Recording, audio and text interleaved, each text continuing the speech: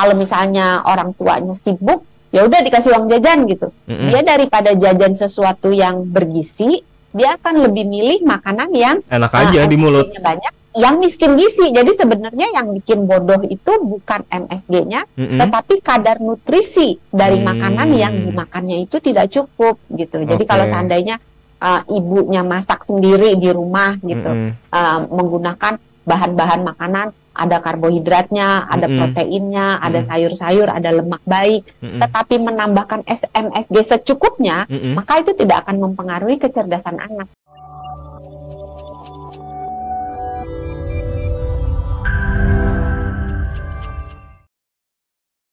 berkembang adalah micin itu katanya tuh dokter Santi udah senyum-senyum tuh.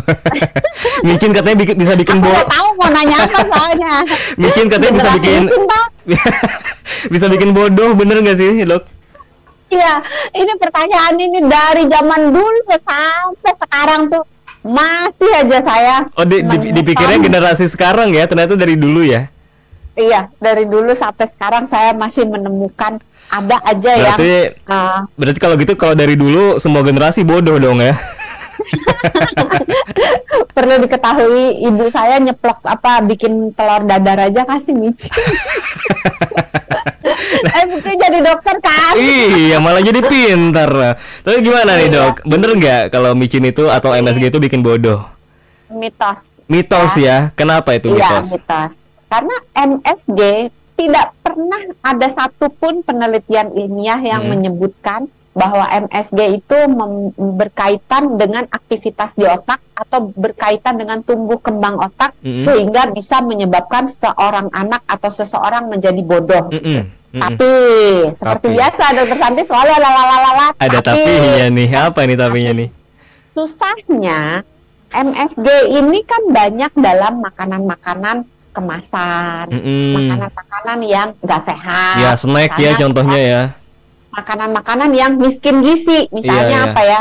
Eh, Ya, mohon maaf pedagang cireng, misalnya cireng Eh, gitu kan. iya. Misalnya apalagi ya, pokoknya makanan-makanan yang mm, miskin gizi Mm-mm. biasanya supaya laku maka ditambahkan MSG yang banyak. Karena MSG itu kan penyedap penyedap penyedap rasa yang udah kompleks banget ya. Jadi toh kalaupun gizinya sedikit asal ditambahin MSG udah enak gitu kan jaminannya gitu. Ya, Oke. sehingga anak-anak akan kalau misalnya orang tuanya sibuk, ya udah dikasih uang jajan gitu. Mm-mm. Dia daripada jajan sesuatu yang bergizi, dia akan lebih milih makanan yang Enak uh, aja di mulut. Banyak, yang miskin gizi. Jadi sebenarnya yang bikin bodoh itu bukan MSG-nya, Mm-mm. tetapi kadar nutrisi dari Hmm. makanan yang dimakannya itu tidak cukup gitu. Jadi Oke. kalau seandainya uh, ibunya masak sendiri di rumah gitu, Mm-mm. uh, menggunakan bahan-bahan makanan, ada karbohidratnya, ada Mm-mm. proteinnya, ada Mm. sayur-sayur, ada lemak baik, Mm-mm. tetapi menambahkan SMSG secukupnya, Mm-mm. maka itu tidak akan mempengaruhi kecerdasan anak. Jadi Oke. jalan mah jalan aja gitu. Kalau kalau berlebih pun nggak akan nggak akan menimbulkan efek pada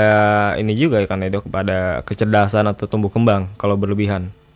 Nah, kalau berlebihan saya belum pernah baca. Mm-mm. Tapi kalau MSG berlebihan Mm-mm. bisa mengganggu fungsi eh, ginjal, bisa Hmm. mengganggu keseimbangan cairan tubuh, bisa meningkatkan tekanan darah, Mm-mm. bisa ujung-ujungnya ke penyakit jantung dan stroke, Mm-mm. pa- terutama pada orang-orang yang eh, sensitif terhadap sodium. Mm. Tapi kalau untuk kebanyakan orang, kalau dia kadarnya berlebih-lebihan, Mm-mm. maka bisa juga meningkatkan resiko terkena penyakit-penyakit tersebut. Jadi bukan Hmm. berarti oh dia nggak bikin bodoh, mari kita makan sebanyak-banyak yang nggak gitu juga kan? Oke, karena efeknya juga bisa ke yang lain ya. MSG berarti kan bisa bikin makanan jadi enak. Lantas Iya. apakah itu membuat eh, MSG atau micin ada zat adiktifnya karena bisa bikin ketagihan? Enggak sih. Enggak Kan ya. kalau misalnya eh, sesuatu zat itu bisa men- menimbulkan ketagihan atau Mm-mm. adiktif, Mm-mm. maka kalau per definisinya kalau kita menyetop asupannya, Mm-mm. kita nggak kasih nih, Iya. maka akan timbul gejala-gejala kayak misalnya sakau Mm-mm. gitu. Nah, kayaknya sih saya belum pernah dengar ada orang yang sakau micin ya. Kalau nggak dikasih micin gitu terus dia jadi Oh, sih. oh emosinya meletup-meletup dan sebagainya Eh. gitu. Kalau gula ada. Oh, gula ada adik zat adiktifnya. Eh, bukan ada zat adiktifnya.